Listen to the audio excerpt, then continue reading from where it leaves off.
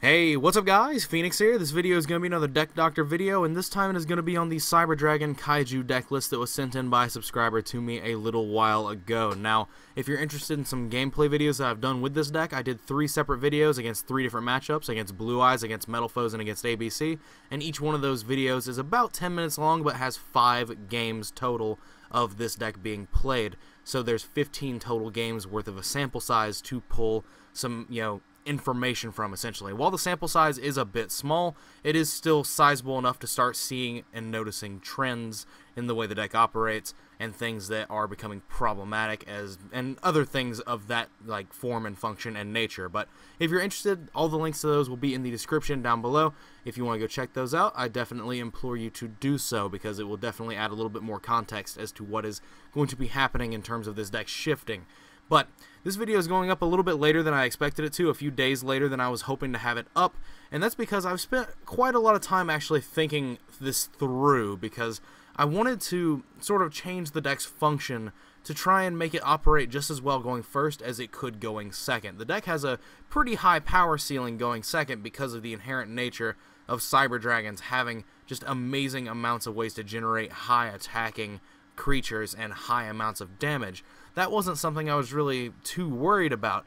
The biggest issue I have is that going second in the game of Yu-Gi-Oh right now, at least in the current format that we're sitting in, is kind of a suicide mission, and that was something I was trying to hopefully address. And I tried multiple different theorems and multiple different ideas, trying to implement Brilliant Fusion into the list, trying to implement multiple different other like small engines to allow the deck more capacity at going first a few different things were things that I tried and ultimately were met with less than stellar results and I just kept trying different things and trying to get things to work and just nothing could really help change this deck's focus to where it could actually operate consistently well on a going first basis. That's just the unfortunate fact of the matter. The only thing that I found that was slightly successful was playing things like triple Card Car D and like quick draw synchrons and then like a lot of traps that like just like stop your opponent from playing for a turn, and then draw cards in the form of reckless greeds and stuff, so you could go first, try to resolve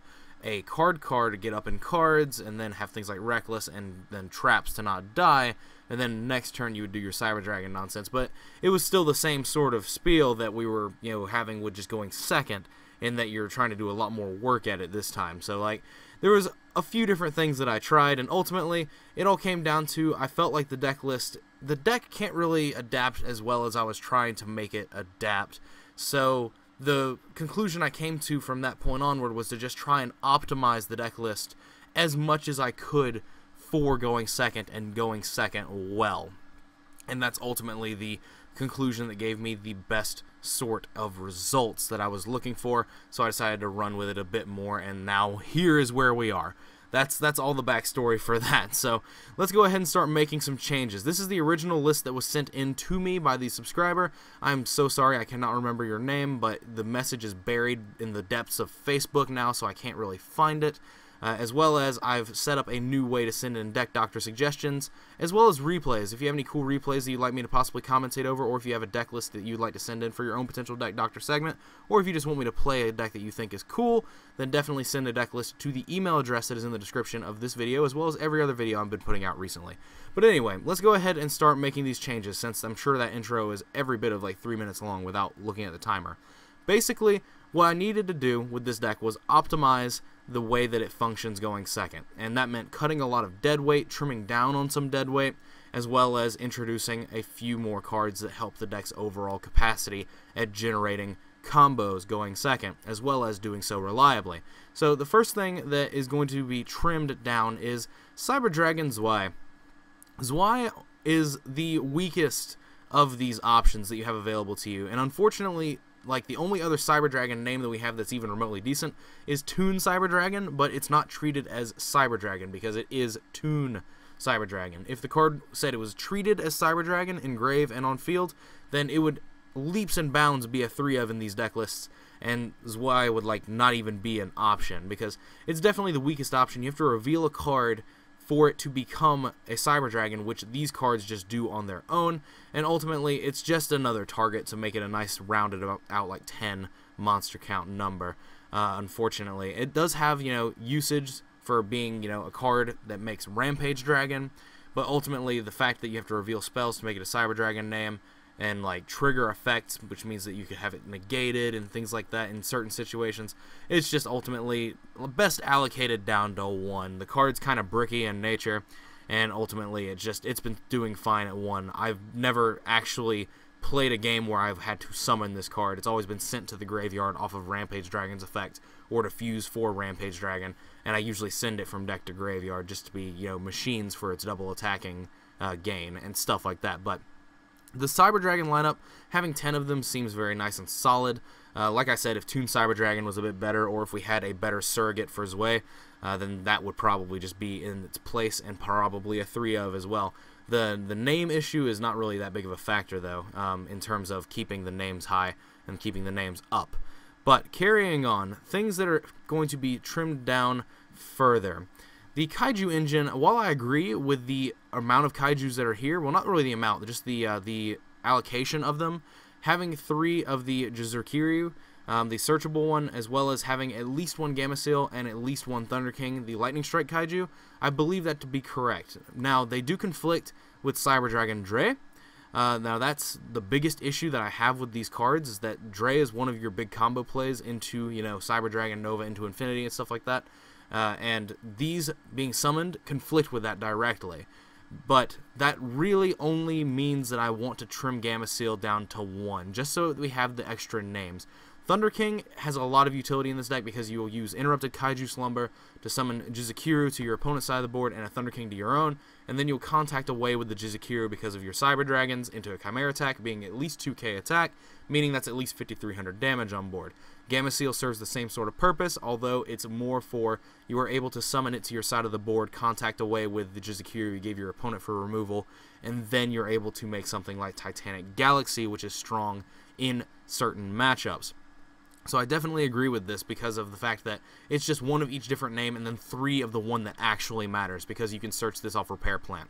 And because one of the kaijus was trimmed out of the main for, as far as like extra names go, one copy of Interrupted Kaiju Slumber is also coming out. I definitely think that 8 to 9 kaiju cards is way too many, but I definitely am a fan of having 7, like 7 to 6 of them it's definitely something that like as a number between four to seven is something that has always worked very well in the competitive history as well as in my own personal experience and having one of each of the other names that you summon alongside the two uh, interrupted kaiju slumbers just makes sense having one additional name for each copy of kaiju slumber that you're playing just seems like it makes a good deal of sense at least but that's really the only changes that are going to happen to the monster lineup like I said, just trimming things down to optimize them is what we're trying to do here.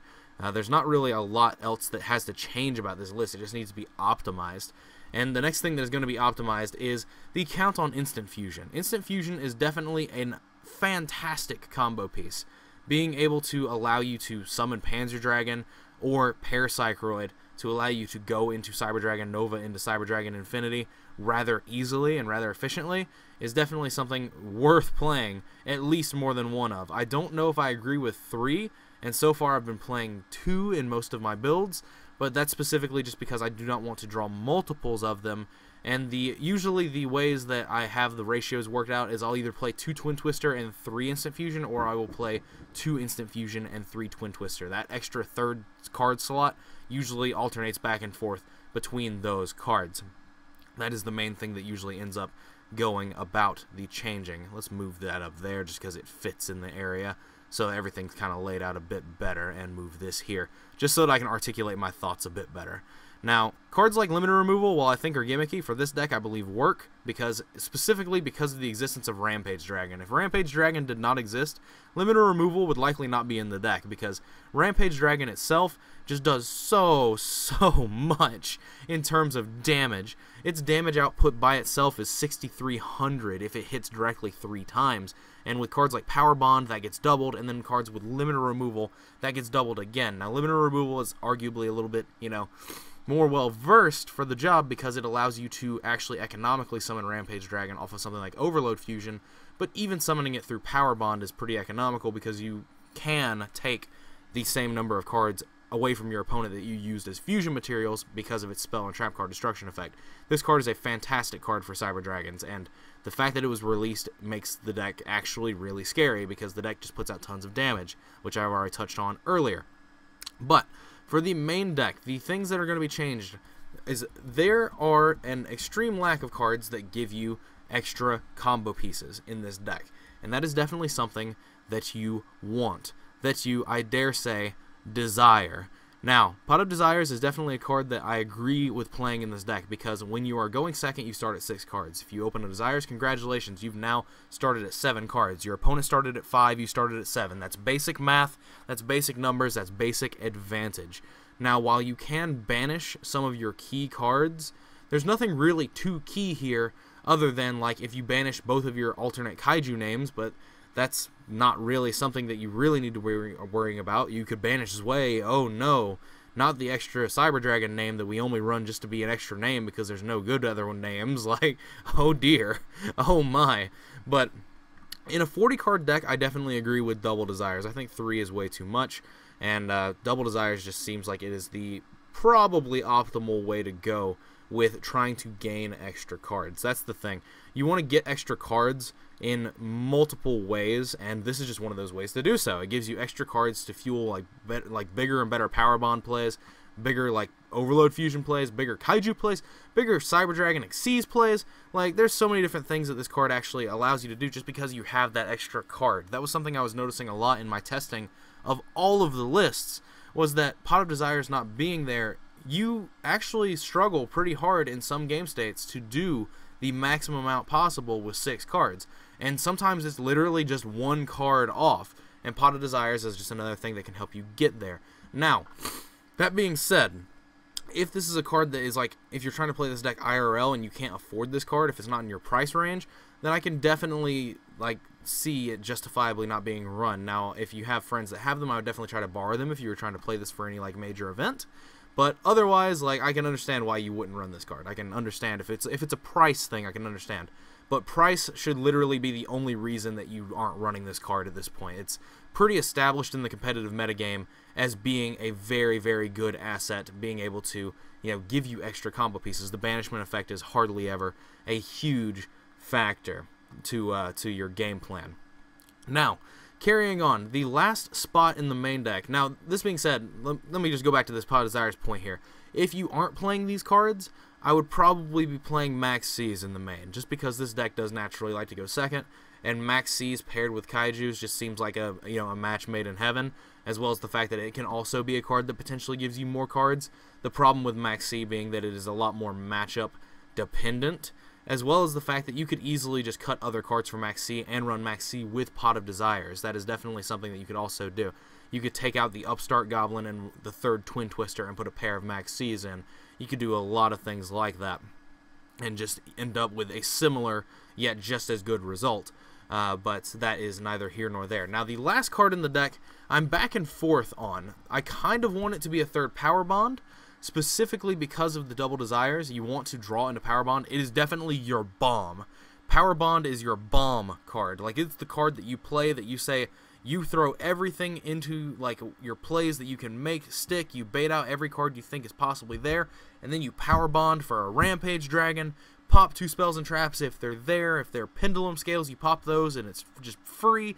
And then you send two monsters to grave and you have a 4200 attacking like, Chimeratech Rampage Dragon that can attack three times. And that's absolutely game breaking. Now, your options here are to play the third Power Bond, which I really, really like the uh, the implications of because of the fact you're just going to see the card more often. It's definitely a card that's alive a lot more of the time than something like Machine Duplication would be. I definitely thought about upping Machine Duplication to 3 for a while, and I did test it at 3, but the problem is, is that it only works with Core, and Core by nature is not really that accessible in the deck, even though you do run technically 6 copies of it. The theory is like you really want to see Core before you see this card because Core makes this card live, and that's that's sort of all the little nuances there. But the third power bond could be the 40th card in here, or a card that I actually have been really, really liking the idea of as a one of is Cybernetic Fusion support. Now, this card is a card that actually has been released to us for some time, but it was released to us in a really offhanded way. And it was something that, you know, it's something that's a searchable one of in this deck off of core. Again, that's another card like Machine Dupe that requires you to essentially have access to core. But it still just seems like it might be worth as a one of in place of the third Power Bond or the third Twin Twister. But I'm not putting it in the list specifically because I'm trying to optimize this deck, but this is just an option for you. Cybernetic Fusion support is a searchable quick play that you can search off of like Cyber Dragon Core because Cyber Dragon Core searches cybernetic spells and traps, and its effect is pay half your life points, and then once during this turn, if you fusion summon a machine type fusion monster, you can banish the fusion materials from your hand, field, or graveyard. And so what this does is this turns Power Bond essentially into your Overload fusions. So it's a searchable card that allows you to have it combined with Power Bond and you could play Power Bond and banish your cards from graveyard and essentially have a better Overload fusion. Now, the reason it is not in the list is because I find it to be a bit too gimmicky. Um, and like I said, I'm trying to optimize this list. I'm not trying to implement strange, new, techie two card combos that aren't really tried, true, and tested. That's not what I'm trying to do at all. I'm trying to make this deck as good as it can possibly be. And the thing is, is that this deck could easily go to above 40 cards at this point if you wanted to. You could play 44 cards in this. If you were going to do so, though, it would be like add two Max Cs and two Veilers to the main deck so you have better chances going second and maybe cutting the Upstart and replacing it for a third Desires because once you go over 40 cards, the third Desires becomes a lot more valuable because you want to see it and you have a bigger deck that you're banishing from so you have less chances of drawing multiple Desires as well as you have less chances of banishing key card like cards and combo pieces. There's that as well as another idea, but this is the main deck that I came to and had the most success with testing wise was this 40 cards here. Now for the extra deck, the extra deck is going to get some very minor changes, and they are mainly in the form of cutting down the fat. Now the fat being cards like Chimera, um, Chimera Tech Over Dragon. This card, there's almost no instance where you're going to make this card over something like Rampage Dragon, because if you're if you have the deck functioning on all cylinders, then you're able to out things with kaijus. You're able to out things with Cyber Dragon Nova being big. Like there's so you're able to suck things up with Infinity. There's so many other ways for you to out monsters that relying on Overload Fusion to make Chimera Tech Over Dragon just seems like a very very wasted extra deck slot. Now, for the two instant fusions, these are staying the same because Panzer Dragon is the only true instant fusion target, even though Parapsychoroid is an instant fusion target as well. But Parapsychoroid can be summoned with Power Bond and can attack directly for game shots, and that is actually something that is pretty, pretty relevant. But, carrying on, the space that is also going to be made is that one Chimera Tech Fortress Dragon is going to be taken out of the extra deck. I've never seen myself making three of this card because the games usually end too quickly. You either win fast or you lose fast. Like, the most that I've ever made in a turn of this card is making two of them, and even that's pretty rare. And so it just seems like it's better suited as a different extra deck spot to me, in all honesty. But the cards that are going to be added in place of them is Constellar Pleiades. This card is a very, very good card to have alongside your Cyber Dragon Infinity because of the fact that it allows you to do things like bounce your kaijus as well. Um, now, you do have the option of Chimera taking away with your kaijus, yes, but if you also have the ability to make a Pleiades, then you can actually turn one kaiju into outing two monsters and then contacting with it. That's actually something that's very valid and a very strong play, is to kaiju one of your opponent's monsters with Jizukiro, make Pleiades, bounce your kaiju to your hand, put it over your opponent's monster, and then if you have like a core or another Cyber Dragon just chilling on the board, then you're able to contact away with it then and essentially out two monsters for the price of one card. And you still have yielded yourself a Fortress Dragon that is the same stats that it would have been if you had just uh, foregone that play entirely. It's just better card economy wise, and that's why it is in here. And then the last card that is going to be fit into the extra deck is essentially just something that's kind of a bit win more, but it's definitely something that has come up a few times and that is basically every time it comes up is when you have to do like a Vul when you're doing a Volcasaurus play, which definitely comes up a lot more with the addition of the extra instant fusion, with the extra fusion spell in the deck because Chimera Tech Rampage Dragon is a level five, um, so like there is that as well, and that is Gaia Dragon. Being able to put Gaia Dragon over Volcasaurus after you pop a card is actually just a really huge thing. And the only other thing that it could possibly be that I've been back and forth on this slot for as well is to make the Gaia Dragon rather a Constellar Ptolemy M7. That's that's the slot that's back and forth for me is Gaia Dragon or M7. Now, the reason M7 would be in here is because you can make Pleiades, then you can put M7 on top of it, and M7 would start adding back your Kaijus for the same reason that Pleiades is played. Like, you would make Pleiades, you'd bounce a Kaiju, you'd Kaiju another monster, then you'd contact with it, whatever, then you'd put M7 on top of Pleiades. It is, again, another very win more card, but is definitely a lot more suited towards play because it is a variable eh, situation. It, it adds an additional variable to your game states, which is definitely expanding on your game state, which is something that you want. And it definitely adds a lot more variables and a lot more potential play lines than just having a third Fortress Dragon or having a Chimera Tech Over Dragon in because it's an extra deck card that does not rely on you drawing a non-searchable fusion card in the form of making it, you know, playable or good. So this is ultimately the list that I came to. Just a little bit of optimization here and there. Like I said, I talked about a few changes that you can make to this list itself as well. Like I said, you can make it 44 cards, replace the Upstart with a third Desires, and play 2 Max C2 Veiler in the main to make it better for going second. Or hell, you could put the two copies of Zwei back in just to increase the Cyber Dragon names for it to be a larger deck, but just have more resource pool to pull, like, pull from. I talked about cybernetic fusion support. There's a few different things I discussed in this video, but ultimately, this is the optimized list that I felt like was uh, was good enough to uh, to start testing, and I've had a few good, better results than I've had with the original list just because of how it's optimized and you see Power Bond more often. You get more cards because of Pot of Desires, things like that. Just just little changes that make large impacts. That's honestly what I was looking for with this deck because there's not really a way to change its core function because of the restraints that the archetype has around it. It's very, very hard to play this deck as a going first deck. It's actually probably almost impossible. But, I mean, making it go second, we can only try to make it do as best as it can. And I feel like this is definitely a step in the right direction. But anyway, as always, guys, thanks for watching. Let me know what your thoughts are in the comments down below. If you like this video, definitely be sure to like and subscribe. It helps the channel grow. It helps everything just, you know, do better. It helps out a ton and like I said, it helps the channel and the community within it grow and helps things get better as time goes on. But other than that, check out the links on the screen and maybe go check out my channel itself to find more videos you might also like. There's a thousand of them over there, so a lot of gameplay videos, a lot of deck profiles, a lot of theory videos, a lot of discussion videos. There's probably something that you'll find to your liking there. But as I already said, thanks for watching. Thanks for your time. As usual, guys, take care. And like I've already said in the past, if you have a deck doctor you'd like to potentially suggest, leave it in the description down below. Or not, don't leave it in the description. You don't have access to that. What am I saying? There is a link to an email address in the description down below. Send the deck list to that email address and we will possibly see what I can do with it if it catches my fancy. But other than that, as I've already said, take care, guys. See you in the next video.